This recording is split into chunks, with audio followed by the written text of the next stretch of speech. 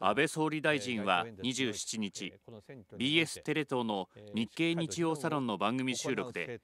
自身の自民党総裁4選への意欲を否定した上でポスト安倍と目されている自民党の岸田政調会長や菅官房長官などについて人物評を語りました。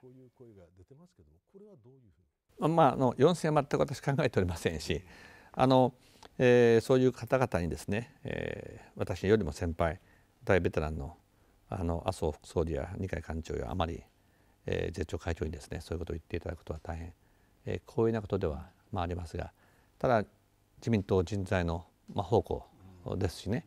えーまあ、例えばあ町田政調会長も外務大臣として相当経験を積みました。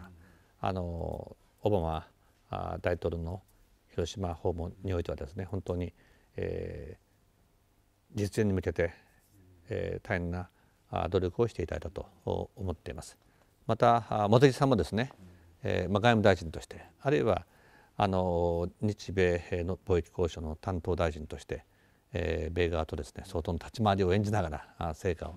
上げてくれましたね。あのまた官房長官もですね、えー、日米のさまざまな起案について、官房長官もいろんな交渉をした経験がありますしあの加藤厚労大臣も私の下でえー、官房副長官としてさまざまな外交交渉の現場にも立ち会っています。まあ、そういう経験を重ねた人たちがあ自民党にはたくさん、えー、もらえますね。あの私今名前挙げた方々、以外にもですね。散らされましたね。あのそういう方々がおられますから、あのぜひ、えー、この競い合いながらですね、えー、自民党ってやっぱりたくさん人物がいるねと国民の皆さんに思っていただけたらなと思いますね。あれよくその岸田さんとね当選同期でなんか非常にこうケミストリーといいますか波長が合うというような言い方をされてますけどやっぱりそういうところあるんですか？まああの、えー、岸田政調会長大変誠実な方ですよね。えー、で割と相手を非常に尊重される方なんで。えー、あの人といると居心地がいいと感じる人は大変多いと思いますがね。あのジョンソン、えー、首相もですね、えー、あの会うといつも「文雄は元気か?」とか言うんですね。なんか2人で結構ウイスキーをこうがっつり2人で飲み合ったということがあるらしいんですね。えー、あそうですね、えー、あのちょっと今名前上がって石破さんという方がもう一人いらっしゃる。はい。はい。えまあ、石破さんも大変、まあ、勉強熱心な方ですし、えー、チャレンジ精神に、えー、あふれた方だろうと思いますね。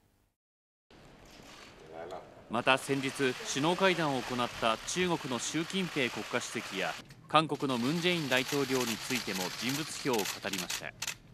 はい、習近平ってどういう人なんですか？あのやはりですね、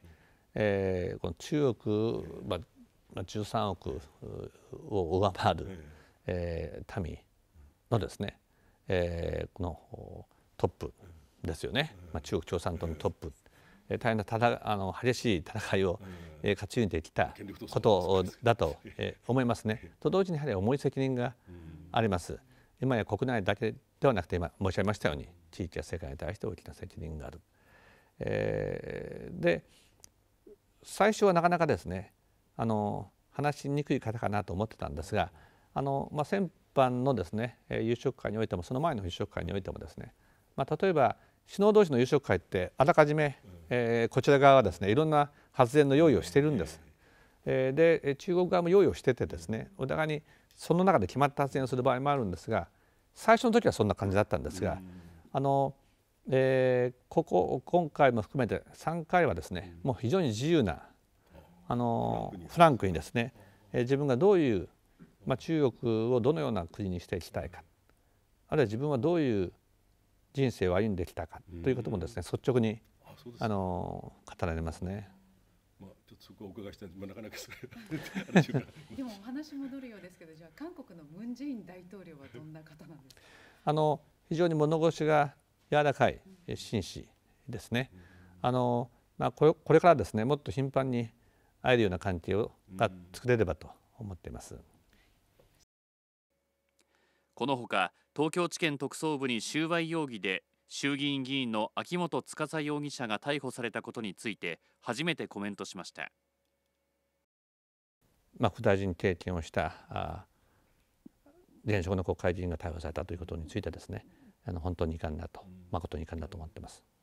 まあ、しかし、まあ、個別の案件についてはですね、えー、捜査中であり、まあ、詳細なコメントを差し控えさせていただきたいと、えー、思いますが、